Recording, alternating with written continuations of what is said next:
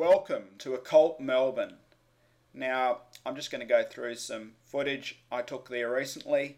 Take from it what you will. I'm not saying this or that as a fact. Use your own mind, your own knowledge, and your own conclusions to come up with what you will. Let's go.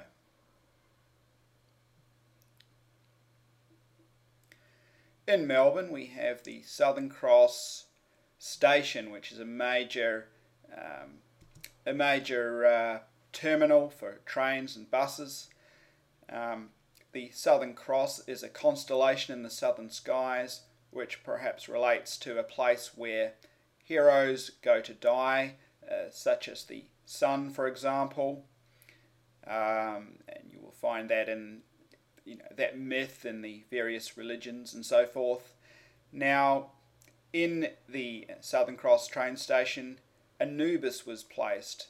Anubis is an Egyptian god of, of the underworld, of a, a funerary god, a god of death, a god that perhaps uh, takes the um, can take the souls of humans uh, to the underworld.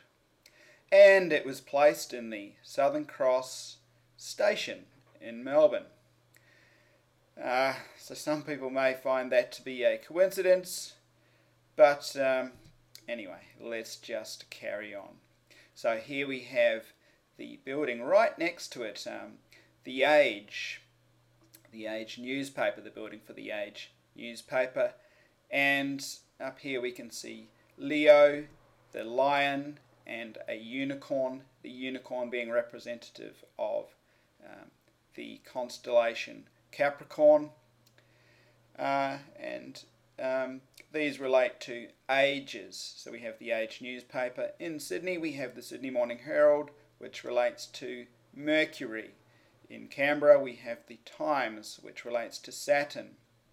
And we have papers um, titled Mercury or the Sun, so forth and so forth, relating to the orbs in the sky or the stars, the constellations. Who owns these newspapers? Why are they named after uh, uh, such things? Who controls your media? Anyway, let's keep going. For some of you could think, could wonder, well, what if it was called, say, the Sydney Morning Jesus or or something like that? Anyway, just food for thought.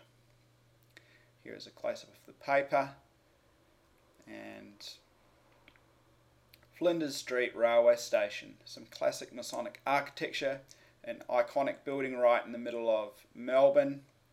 Having a closer look at the facade here, uh, we have what are perhaps the Masonic pillars, uh, with the moon at the top of this one, the female pillar, the male pillar here with the what is perhaps the sun at the top of that one.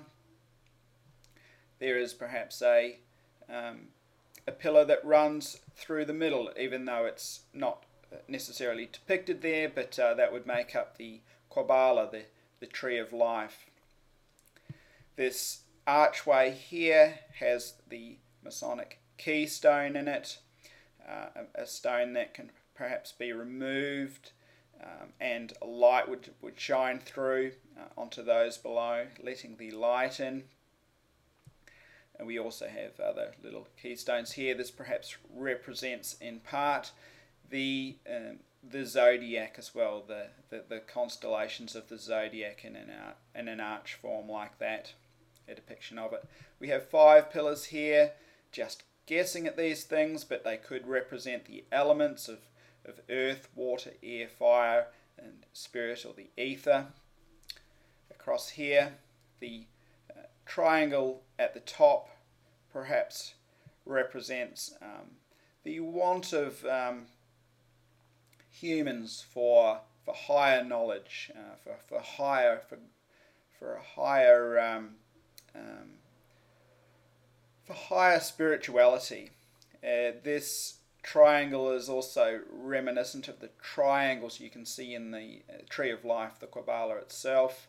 It also is perhaps representative of the fire triangle. Um, and it's up high, the fire triangle. So uh, we'll keep going. It's a beautiful building. some close-ups of the facade. There are some cartouches on there. And at one end of the building we have the, the clock tower, which is perhaps phallic in nature. Uh, it the the building itself sits right on the Yarra River in uh, Melbourne. The uh, the the Big Ben in London sits right on the Thames River. So the the river is perhaps the water, the, the female essence, with the male uh, phallus uh, right beside the, the female river. The Big Ben, uh, as an example, well, Ben perhaps relates to the Ben Ben stone, the Egypt, Egyptian Ben Ben stone, uh, which is uh, perhaps a phallic object. So we have this relationship of Ben and, and the phallus. Anyway, let's keep going. In the window, we perhaps have the phallus again, this uh, uh, penile type um, depiction within the window, and there is perhaps a, a, a female uh, aspect to this as well, as one would expect. Here is the Young and Jackson Hotel. It's actually it actually sits opposite the um, excuse me, opposite the Flinders Street railway station. We see uh, the Vesica Pisces coming out of two circles. Uh, so we have duality, uh, which perhaps came from, say, one circle, um, perfect sort of geometry, one circle, a, a godlike or sort of source type um, entity, if you will. Anyway, so we have the Vesica Pisces coming out of two circles, and we have the checkered pattern uh, representing duality also.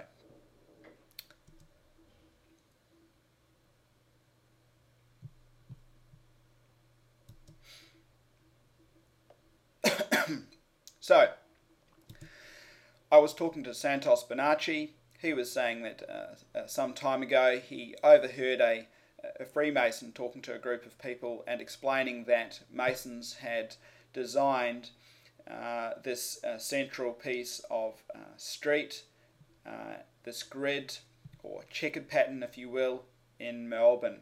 It's um, pretty much four by eight, which is which comes to 32 squares or half of a chessboard. On this side here, you can see that it's it's further divided up into 64 uh, by these sort of half streets that, that go through this way. Anyway, there's some uh, Masonic design, if you will, within the uh, plan of Melbourne, within the street plan of Melbourne. St. Paul's Cathedral. Uh, this cathedral sits right in this central part here. We have the Young and Jackson Hotel here, which we just looked at. Over to this side here is that Flinders Street railway station. This is uh, Federation Square, and we are looking across to, right now our focus is on the St. Paul's Cathedral. Uh, let's just have a look at some more of this. We have the checkered pattern uh, sitting up here, um, and on the facade of, of this church with the steeples. Here we have the, the doorway, the, the, the Vesica Pisces doorway. Uh, it's sure it's just half of it, but it's um, still representative of the Vesica Pisces with, dare I say it, the labia minora in the in the middle or in the um, inner part, and the labia majora represented on the outer part, um, the parts of the vagina. Uh, we have uh, the checkers, uh, perhaps representing duality, uh, coming out from the vesica in this in this case. So we'll just move on in. Here we are at St Paul's Cathedral. We're now on the in the interior. just having a little look here, we can see the Vesica Pisces arches. The ceiling perhaps represents the heavens above, uh, but the ceiling can also perhaps represent a, uh, the interior of the womb of creation, if you will. Looking here at this skylight right in the centre of the church, we can see the Vesica Pisces once again, and we can see this sort of compass arrangement, which is perhaps uh, dispersing or moving out from the from the Vesica Pisces, if you will, um, the moving out of greater creation or so forth.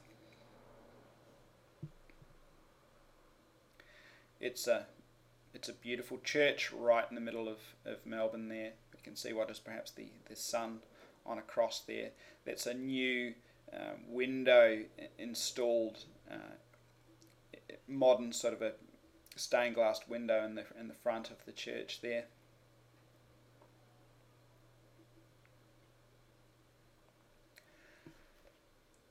So right high up we see a, a, what is the dove perhaps coming through the window here through the Vesica Pisces. We can also see what are perhaps depictions of uh, energy coming through, electromagnetic energies, perhaps if you will, and light coming through.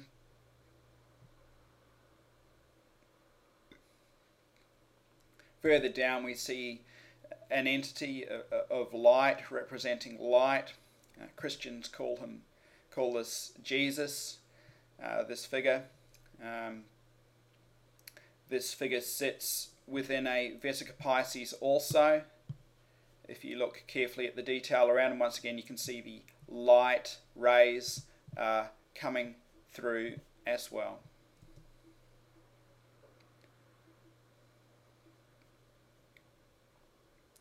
Further down we can see this figure, Christ crystal, this, this figure of light uh, on, on the uh, cross here.